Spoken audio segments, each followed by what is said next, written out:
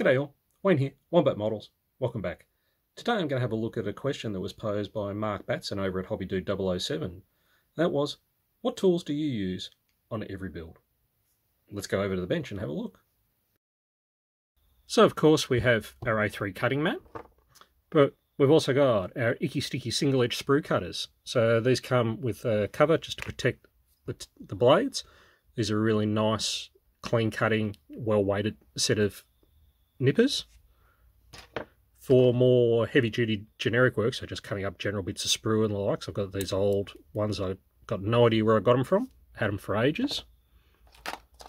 Then we have our Icky Sticky hobby knife set. So it comes with two handles, a set of 30 number two blades. So the Icky Sticky knife is the one I use for the majority of my cutting work. But I also do have a number of other knives, different blade types, and sizes, um, particularly one there that I use for cutting PE. Then we have our ubiquitous razor saw. Can't do without that for cutting off uh, large chunks of plastic or when you're doing resin, cutting off the pour blocks, example. A pair of scissors. So these are used for cutting uh, decal sheets. Uh, so cutting out the individual decals and markings and lastly, we have our Icky Sticky pin vise and tungsten micro drill bit set. So we've got the pin vise there, and of course three sets of drills, the 0.1 to 1, 1.1 to 2, and the 2.1 to 3 millimeter. Okay, so first up we have the SMS ceramic scraper. So this comes with a ceramic blade. Uh, nice and safe. You can't cut yourself on that. It comes with a spare one when you buy it. Uh, these ceramic scrapers are perfect for cleaning up uh, mold separation lines or seams on parts, and can also be used for cleaning up some of the uh, sprue nibs that are left over. But it's a really useful tool that I use on everything. Uh, then we have our Tamiya Plastic Scriber 2. So this is a rebranded Alpha Scriber. So have your scribing blade, uh, you've got a spare blade in the handle there, so it comes in really useful for rescribing panel lines. Then we've got uh, files. Now this set of needle files, I've got no idea how long I've had them or where I got them from. Uh, they come in a range of sizes and shapes. Uh, they're really useful for cleaning up um, sprue nibs uh, and also great for cleaning up the little leftover nibs from where you've cut uh, PE off the fret and just for general uh, if you want a nice flat surface when you're cleaning up your parts. So that's the files. And then for general sanding, uh, use basically just emery boards, nail files that you can get from your, your local craft shop or Priceline or likes. And I really like this one, which is a multi-grade sander that you can pick up again from your uh, beauty supply places. So it has multiple grades. So you have step one is coarse, step two is medium, step three fine, and it goes down to four is conditioning, five is smoothing, six is buffing, and seven is polishing. So they come up really useful for just general sanding. They're a little bit soft, so they've got a little bit of give, which is good.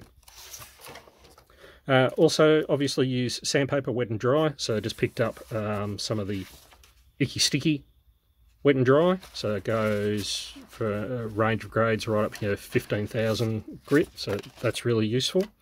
And also recently picked up the Icky Sticky sanding sponge set. So that comes in a range of grits from 180 all the way up to 3000 grit. So I'll be using them a lot.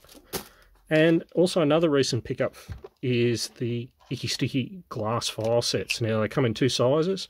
So you've got your large and your small. So three grits, so you've got a fine, a medium, and a super fine. So these are fantastic. They're nice and solid, so they give you a really good flat surface and come in nice little protective carry cases. So again, another great pickup for cleaning up your parts.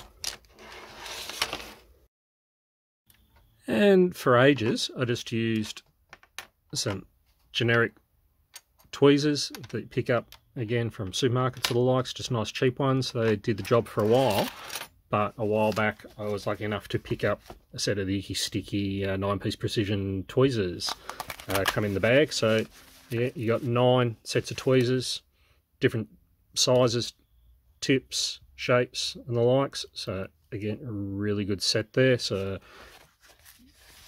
There's types there that cover pretty much all your needs, and they come in that lovely little protective case.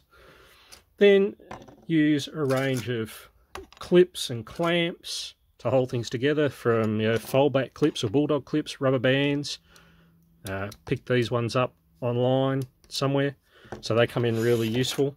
And when painting, obviously got the old alligator clips just on a piece of bamboo skewer just for holding parts and getting them up there while you're painting them.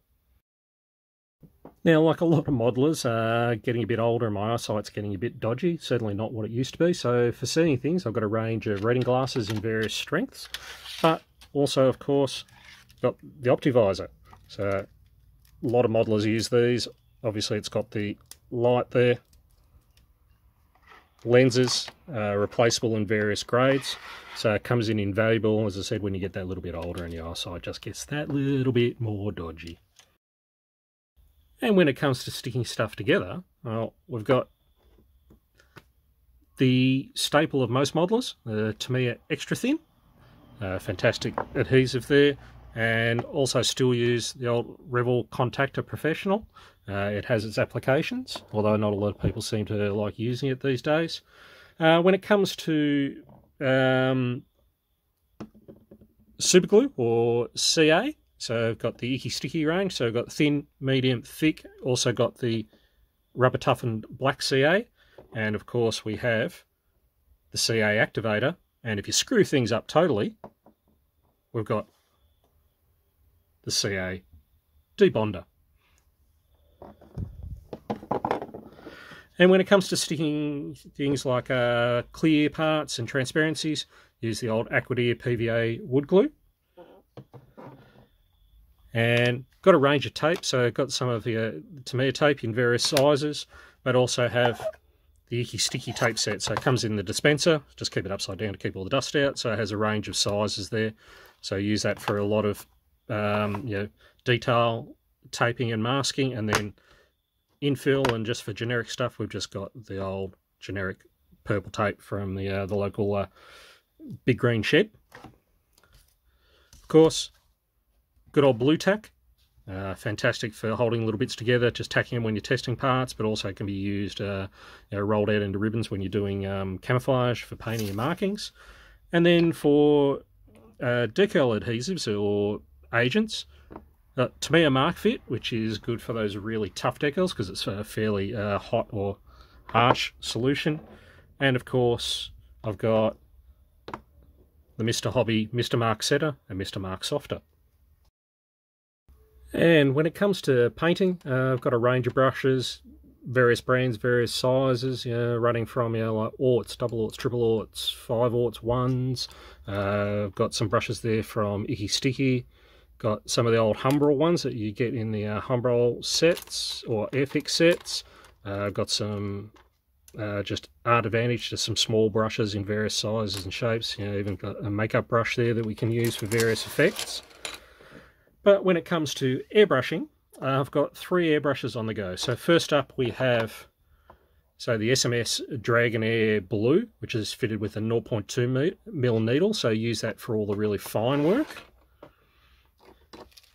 Then we have uh, what was my old workhorse for a long time, so that's my Hseng HS80, just a cheap uh, Chinese airbrush, but 0.3 mil needle. Been working great for me for quite a long time, so still use that one and recently just picked up another cheapy airbrush. So this one is a Walmart AB180.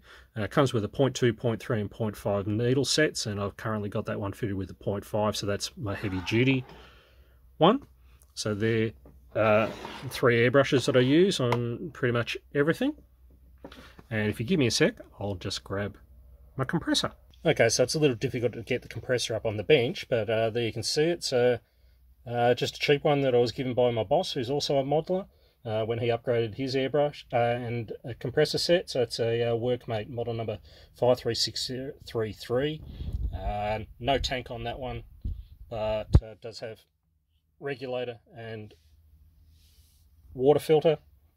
And as you can see, three of the feet are broken off. And then just lastly, when we're spraying, of course, we use our mask because you've got to be safe, especially when you're doing uh, some of the more volatile paints that are around. Well, there you go. They're the tools that I use on every build. How about you? why don't you make a video and show us what you use? Anyway, that's it from me for this week. Uh, don't forget, like, leave a comment. I'll read and respond to all of them. If you like what you see, subscribe to my channel. Uh, hit the bell if you want to get notifications of upcoming videos. Yeah, that's it. See you later.